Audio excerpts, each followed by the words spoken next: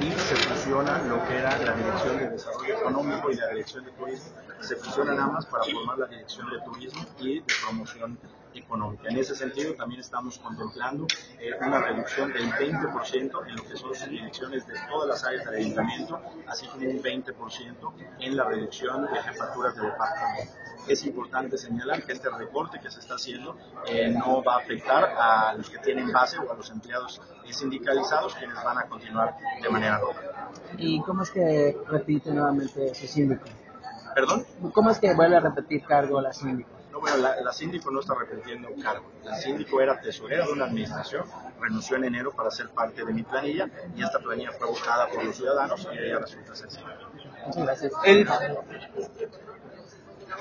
Por supuesto, mira, eh, hay un ahorro de entrada de alrededor de 27 millones de pesos en lo que va a ser eh, esta administración. Estos ahorros, por supuesto, que pueden ser mayores porque hay datos que no se pueden cuantificar, como son eh, mantenimiento de vehículos, celulares, entre otras cosas. ¿no? En ese sentido, pues nosotros lo que queremos es que estos 27 millones sean usados, que nos estamos ahorrando el sueldo, sean usados para poder darle mayores beneficios a los ciudadanos, mejores programas, más apoyos, pero sobre todo hacer un comparativo. ¿no? Estos 27 millones equivalen alrededor de 10 millones, perdón, de 10 kilómetros de calles en la ciudad de Mérida, equivale también a 1.5% de lo que es el presupuesto del catastro municipal, o sea, con este dinero podríamos mantener el catastro un año y todavía a la mitad, también equivale a alrededor de 11.000 becas que podríamos dar los jóvenes y eso es lo que queremos hacer, ¿no? que esto que vamos a estar ahorrando en gasto corriente lo podamos utilizar en darle mejores servicios a los. Mauricio. Eh, las volvemos a repetir, es la oficialidad mayor que desaparece, se, lo que era el Instituto Municipal del Deporte, de la Juventud y de Salud, se fusionan para crear lo que es la Dirección de Desarrollo Humano, esas tres direcciones para crear una. También lo que era la Dirección de Desarrollo Económico y la Dirección de Turismo se fusionan para crear la Dirección de Turismo y Promoción Económica. Angélica Araujo dijo ayer en una entrevista que usted podría considerar, le recomendó considerar eh, llegar a un acuerdo con la empresa Ibis y Leasing por el tema de las luminarias para, para un plazo de pagos o algún acuerdo.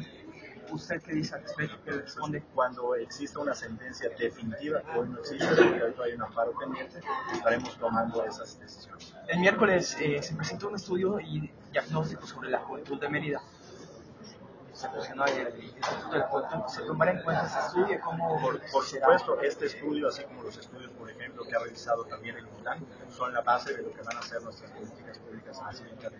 ¿Se contemplan alzas en el impuesto predial el próximo año? Eh, por el momento no tenemos alzas contempladas, pero bueno, esas son cosas que estaremos definiendo cuando realicemos el presupuesto. No. De los estudios que se han realizado, de transición. ¿Cuál es el mayor problema que va a enfrentar el Digo, porque hay varios en, términos generales, nosotros recibimos, recibimos un ayuntamiento ordenado, hay temas pendientes, como el que comentas, el tema del ambulantaje que hemos platicado muy de cerca con la Cámara eh, de Comercio. Tenemos eh, temas que son recurrentes de la época del año, está la época de lluvias, van a morir los taxis, todos lo sabemos, pero creo que en términos generales recibimos un ayuntamiento ordenado, funcionando, que se va a realizar. Pues, también vienen a prepararse por el tema de las cualquier, digamos, Mira, estos cambios que nosotros estamos haciendo obedecen a un entorno económico a nivel nacional que es desfavorable. Eh, está anunciado que van a haber menos recursos para los municipios, ya que alrededor de 87 dólares, cuando su precio entre los 80 y 100 dólares. También tenemos el tema de lo que es la devaluación, el dólar anda casi en 17.20. Entonces nosotros de una manera responsable estamos haciendo los ajustes que creemos convenientes para hacer una administración más eficiente, más eficaz, pero que también le cuesta menos a los ciudadanos. ¿Se ha encontrado alguna anomalía en bueno, nosotros en este momento no hemos hecho la entrega de sección formal. Nosotros en el proceso que vamos ahorita es en los informes que ha rendido la Comisión de Transición.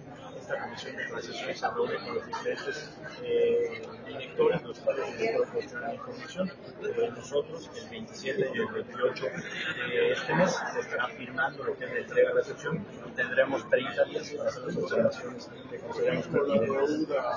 pública que se tiene ayuntamiento y las anomalías en la línea 1 las demandas que tiene este ayuntamiento. Bueno, ¿Cómo va qué tratamiento hacer? Pues nosotros el tratamiento es que necesitamos recibir la administración para saber ejemplo, hay unos casos de los documentos que son temas jurídicos, temas jurídicos pues tienen por la vía legal, ¿no? En dado caso de que no haya alguna vía, pues estaremos eh, procediendo conforme a la ley y también conforme a procedimientos transparentes que le garantizan a todos los involucrados que se respeten sus derechos. ¿Cuál es responsabilidad del presidente municipal? Pues va a ser la tuya desde este tiempo. Este, eh, ¿Qué se va a procurar? Que el responsable directo, que es el presidente municipal, tenga eh, que asumir esa, ese costo. Yo no puedo especular porque no, no, no tenemos casos concretos ¿no? que, que podamos hablar, no, no, te puedo decir. Pues bueno, son públicos, pero no existen procesos el día de hoy. Y en ese sentido, cuando estemos en la administración y cuando tengamos resoluciones ¿Qué proyectos de la administración actual deben eh, tener continuidad y cuáles? Bueno, en ese sentido, eh, creo que el Ayuntamiento de en términos ha realizado un buen trabajo, creo que en el tema de la mujer, en el tema de cultura, en cuestiones como el refugio para mujeres, que es un, es un éxito, el tema de la Noche Blanca, entre muchísimos eh, proyectos. Vamos, hemos estado realizando uno a uno los programas del Ayuntamiento y en su momento pues estaremos dando a conocer los programas que continúan, los que no continúan y los nuevos que implementan. ¿Perdón? No, hasta el momento no he de corrupción, platicábamos aquí nosotros en los casos de de Leonardo que encontrábamos casos de corrupción, vamos a proceder de acuerdo. no te tendrá ¿Cuántos tienen los, los pendientes pendientes? Mira, los datos exactos no los tengo en ese momento. Hoy en día, por ejemplo, el hablar del tema de las luminarias es un proceso judicial que está en juego, se puede estimar si son 200, si es 0, si son 400. En su momento, cuando tengamos los datos precisos, los daremos. Repite Irving Berlin como director de, Sí. bueno, director de cultura. ¿Qué se puede esperar de, de la cultura? ¿Perdón? ¿Qué se puede esperar de la Yo cultura? espero que la cultura siga siendo un referente a nivel nacional, que proyecta Mérida como un destino turístico, como un destino cultural y que por supuesto que incrementa la calidad de vida. Grupos, yo no conozco grupos políticos del ayuntamiento, yo estoy haciendo un, un gabinete, tampoco tribus, yo estoy haciendo un gabinete eh, basado en cuestiones de talentos, en cuestiones de gente que sabe hacer el trabajo que lo puede hacer y en la cual el no el. ¿Hay algún familiar? Para nada. ¿Alguna última pregunta? Raúl pasa al otro ganar las ¿Qué elecciones número con el Ah, Pablo, Pablo, en, es- en esencia, eh, ¿cuál es la el objetivo de esta reorganización donde has dicho que se van a ahorrar 27 millones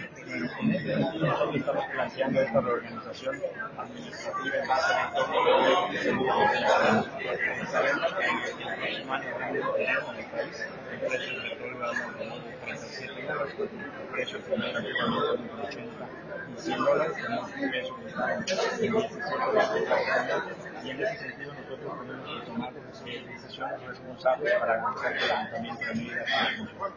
En ese sentido hemos planteado una reorganización administrativa que contempla la desaparición de algunas direcciones, la fusión de otras y además una reducción del 20% en lo que son eh, subdirecciones actuales en el ayuntamiento y ejecutivos del departamento.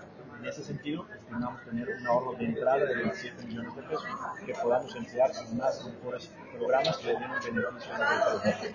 Una pregunta más. eh, ¿Cuántas eh, direcciones van a desaparecer, subdirecciones y cómo queda la reorganización? Bueno, como platicamos hace un momento y vamos a hacer llegar la información, desaparece lo que es la Oficialía Mayor, lo que era el Instituto de la Juventud, el Instituto del Deporte, el Instituto de la Salud, se fusionan para crear la Dirección de Desarrollo Humano y eh, la Dirección de Desarrollo Económico y la Dirección de Turismo se fusionan para crear lo que es la Dirección de Turismo y Promoción Económica. Raúl Pásalo acaba de ganar las elecciones estatales para el PAN y dice que uno de los objetivos es llegar eh, el PAN a la gobernatura de la. Empieza una oportunidad como parte de alcalde directo Mira, yo en este, en este momento yo estoy concentrado en tener un ayuntamiento que dé resultados a los mexicanos, que cumpla con su expectativa. Por supuesto que va a tener una relación muy estrecha con el presidente de mi partido, pero a mí me toca hacer un ayuntamiento que funcione, que dé resultados y las cuestiones políticas.